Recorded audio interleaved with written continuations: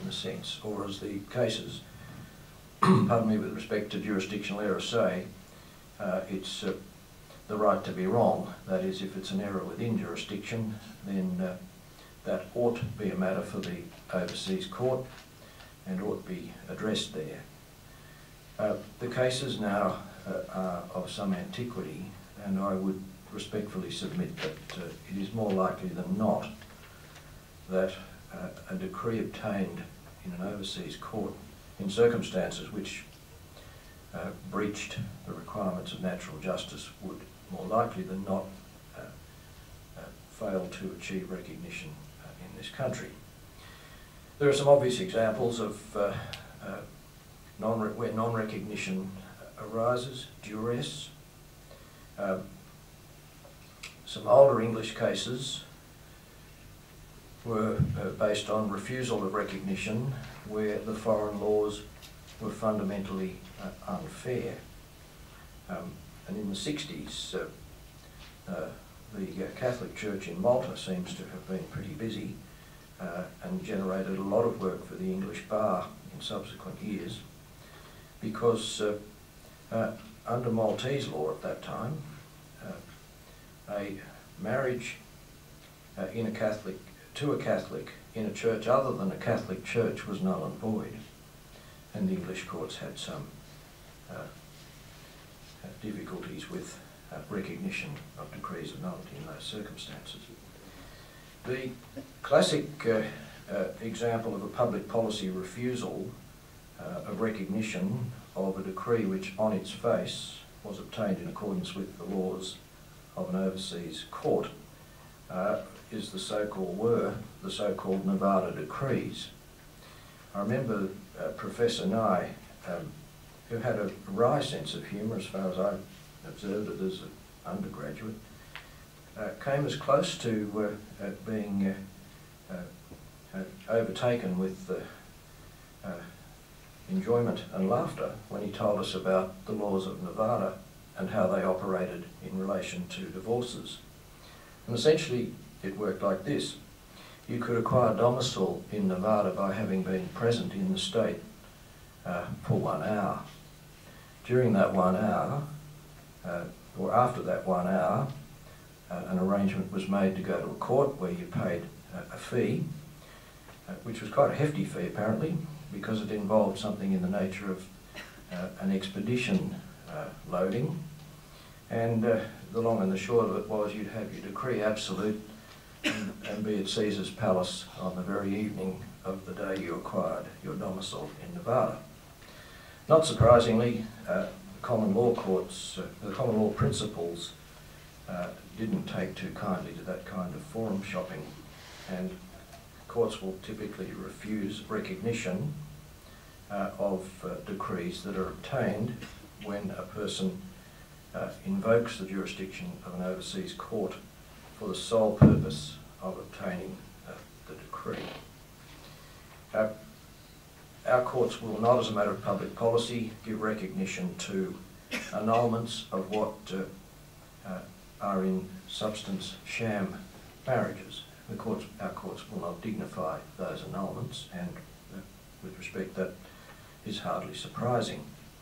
Uh, there is a, an overlap, I would submit, between on the one hand, uh, recognition of a foreign decree uh, and public policy considerations, and on the other, uh, the declaration or the ability to secure a declaration that uh, a marriage is valid, implicit in that being the power uh, to obtain a declaration that the marriage was invalid declaration from an Australian court that uh, an overseas, or for that matter an Australian marriage, uh, was null and void or invalid has the consequence, of course, that recognition of any domestic or overseas decree annulling or dissolving that marriage becomes otiose. And very often, um, and this is particularly so uh, in the case of arranged marriages, uh, the preferable uh, course uh, will be to seek a declaration of invalidity of marriage. The reason I submit that is quite simple. It may be that the arranged marriage, which offends, which offends public uh, policy in this country, uh, thus rendering recognition of the foreign marriage, uh, precluding recognition of it and entitling uh, a petitioner to a declaration of invalidity uh, is more readily achieved than avoiding recognition, given that that arranged marriage in most instances will have uh, satisfied the requirements of the overseas uh, court. Um, have I got, how long have I got, Rick? I don't mean in this life, I mean this morning. I don't want to know the answer to the first question. What have I got, about 10? 10 years and 10 minutes. I'll, Sorry, I'll, I'll, I'll- years. I'll- okay, um, well, look, I, I want to uh, just, uh, in effect, hit on the, uh, uh, the other points and then as swiftly as I can move through and, tr- and try and tidy up a couple of other things. In terms of recognition, uh, it, of decrees, it's virtually all statutory and the case law on the statute. Property is different and uh, the reasons for that are not hard to imagine. They go back to the historical division between uh, movable and immovable property. Uh, and judgments in rem, immovables, and in personam. Broadly speaking, uh, provided that uh, orders regulating property rights were entered into, uh, in, were made in accordance with the laws of an overseas court. In the case of movables, provided that the party with the obligation to do uh, what the orders say with respect to movables is within the jurisdiction, or the movables themselves are within the jurisdiction. Say, for example, shares listed on an Australian uh, register, uh, or a corporation which uh, is registered within the jurisdiction, uh, orders are likely to be made. Conversely, uh, recognition of orders with respect to immovables is more problematic, uh, and the reasons why that is so uh, are not difficult uh, to, uh, to imagine because the common law has traditionally held uh, that title to foreign uh, real estate is governed by the laws of the country in which uh, uh, the law, the, the, uh, the property uh, is uh, situated, the lex situs. I'll move to the question of invoking the jurisdiction and that also uh, is uh, an area in which the distinction between movables and immovables uh, assumes significance. Broadly speaking, uh, once jurisdiction is attracted, and it's important to note the distinction between attracting jurisdiction and the exercise of jurisdiction. Quite literally, uh, if a person uh, is present within the jurisdiction and is not a non-lawful citizen, that is to say, for practical purposes, is not in immigration detention, because the High Court in Mimia and B in 2004 held that uh, people who are in immigration detention cannot uh, uh, invoke uh, the jurisdiction at least uh, and uh, as well as in relation to family law. But broadly speaking, the potential jurisdictional bases go right down to physical from, phys- from physical presence in the jurisdiction which is not unlawful through uh, uh, being a national of the forum to being domiciled in the forum. So it's not difficult to uh, attract or potentially attract jurisdiction. The more difficult questions arise in relation to whether jurisdiction should be exercised, and in that regard there is a broad divide. In relation to children, uh, the High Court has held uh, in uh, ZP and uh, PS in 2000 and uh, in 1994 uh, that the principle of uh, clearly inconvenient forum, which otherwise uh, applies in uh, jurisdictional disputes of this kind, does not apply in relation to proceedings with respect to children. And the High Court has held uh, that the welfare of the child is the paramount consideration unless the court's discretion is fettered by specific statutory provisions such as are found in the Australian embodiment of the Hague uh, Child Abduction Convention. That, I should say, uh, raises a very uh, interesting jurisdictional issue. Uh, to my knowledge, uh, I may, there may be cases of which I'm not aware, but uh, to my knowledge there hasn't been uh, put to the, uh, the acid test, as it were, what happens when you have uh, in the jurisdiction both parenting proceedings which have been validly commenced under the Family Law Act in circumstances where that a child, the subject of those proceedings, is within the jurisdiction, and also uh, an application by a central authority for repatriation of the child pursuant to the Hague Convention.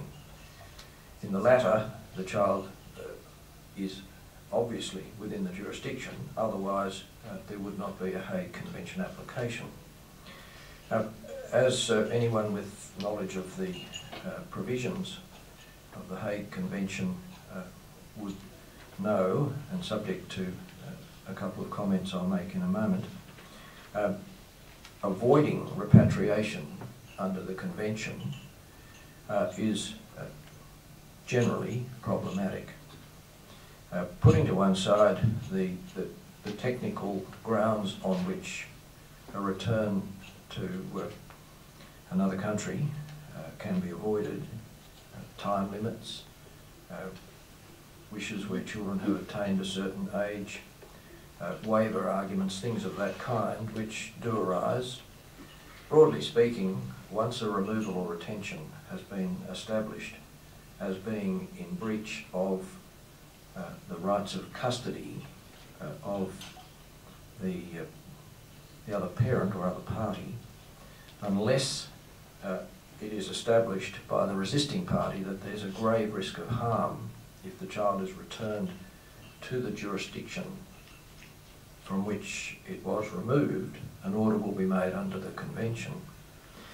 And Justice Kirby some years ago uh, suggested, and on this occasion I suspect His Honour was overwhelmingly in the majority, um, that the Hague Convention had been devised uh, in a time when uh, the only real concern was fathers who kidnapped their children and absconded uh, from the uh, place of the child's habitual residence, or who, with the consent of the custodial uh, parent, took the child out of the jurisdiction for a holiday and then, in breach of rights of custody, retained the child. And thinking back, uh, it was rare 40 years ago, 30 years ago, to see cases which didn't fall within that uh, category.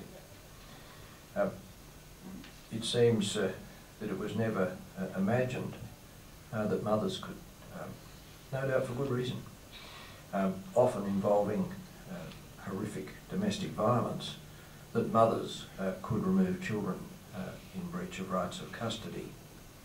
The difficulties, uh, and I'll just touch on some of them, uh, have compounded over the years. In 2001, in two cases, uh, JLM uh, being uh, uh, the, the first of them, they're reported together. But the High Court talked there about a limited uh, hearing in relation to best interests in Hague Convention proceedings where uh, repatriation was resisted. That probably uh, opened the door or perhaps just rendered the door slightly ajar. But what's happened since uh, has been uh, that almost invariably there is a, a, a, limited, a custody hearing within a limited uh, uh, scope, accompanied by welfare reports. So it's a case, I suppose, of be careful what you wish for, because uh, that does uh, create potential dilemmas for courts in terms of uh, grave risk of harm if there's a return. It's to be remembered that Hague proceedings are not proceedings for the return of a child to a person. They are for the return of the child to a jurisdiction. The ratifying countries, uh, the countries which have ratified the Hague Convention, are all countries whose uh, legal systems uh, are regarded, actually or notionally, as uh,